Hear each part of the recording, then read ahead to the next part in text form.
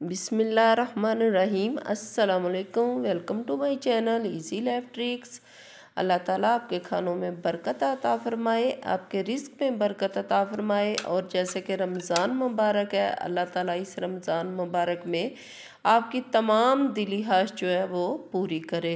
तो अल्लाह ताला सबको तंदरुस्ती अता फरमाए। आज आपको नज़र आ रहे हैं बहुत ही रेड रेड कलर के एप्पल। ठीक है? तो ये आप गैस करें कि मैं क्या बना रही हूँ। ये थोड़े से इंग्रेडिएंट्स है मेरे पास, कोई ज़्यादा चीज़ें आपको नज़र नहीं आ रही। चलो जी, हम आपका इंतज़ार ख़त्म करते हैं और आपको खुद ही बता देते हैं कि आज हम बना रहे हैं एप्पल जैम जो बच्चे तो बहुत ही शौक़ से खाते हैं और एप्पल खिलाने का एक नया तरीका है।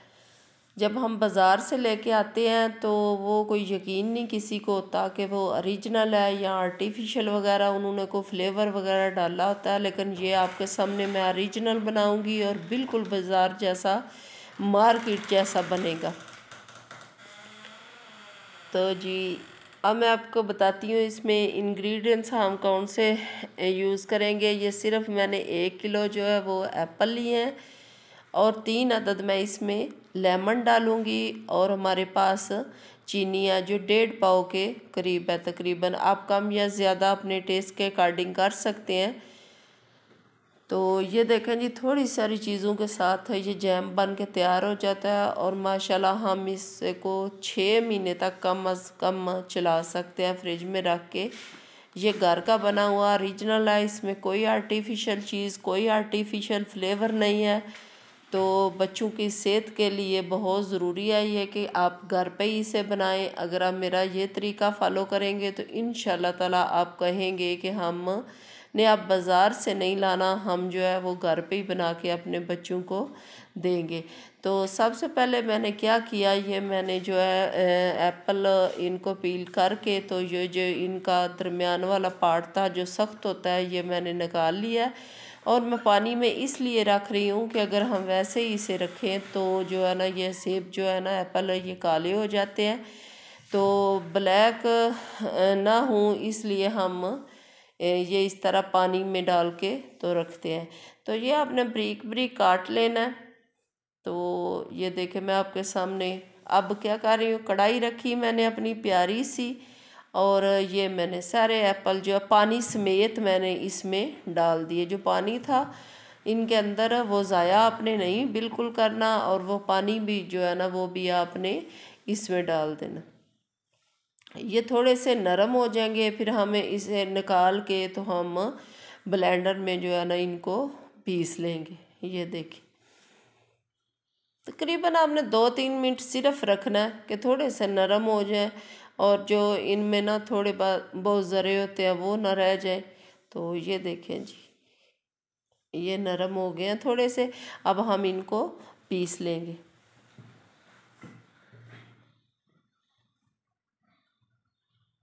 पानी इनमें से आपने खुशक कर लेना। पानी आपने डालना ही उतना है, जितने में तकरीबन दो मिनट में ये थोड़े से नरम हो जाए। आपने ज़्यादा पानी नहीं डाल देना। जैसा कि मेरे जो है चैनल का नाम ही इजी लाइफ ट्रिक्स है तो मैं आपको इजी वे में चीज़ें बताती हूँ तो आप मेरे जो है, जो भी बताती हूँ, इनको फॉलो किया करें। तो माशाल्लाह आपकी जो भी रेसिपी होगी बेहतरीन बनेगी। तो ये देखें, मैंने इसमें डाल लिया। आप जो ब्लेंडर जग होता है, वो भी यूज़ कर सकते हैं। अगर आपके पास वो ना हो, मेरा तो कुछ दिनों से ख़राब हुआ था तो मैंने ये वाली जो छोटी डब्बी होती है, इसमें डाल के तो मैंने ये पीस लिए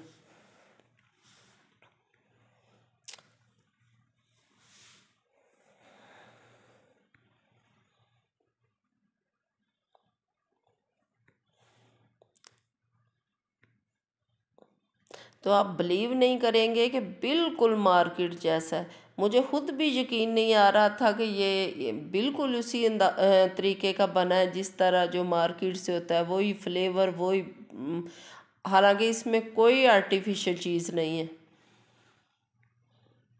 तो ये मैंने पीस के कढ़ाई में डाल दिया और जो मेरे पास डेढ़ पाव का करीब तकरीबन चीनी थी वो भी मैंने ऐड कर दी और अब मैं इसमें थोड़ी देर बाद जो है वो जो लेमन मैंने तीन अदद रखे हैं, उनके बीज निकाल के तो वो मैं ऐड कर दूँगी। ये देखें, ये लेमन थे तीन अदद। इनका मैंने जो जूस वगैरह वो निकाल लिया तो मैंने ये ऐड कर दिया।